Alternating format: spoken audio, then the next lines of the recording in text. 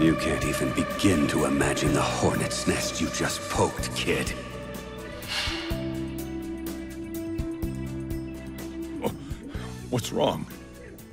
There's something I have to tell you. It's about my past. Shido and I have met before.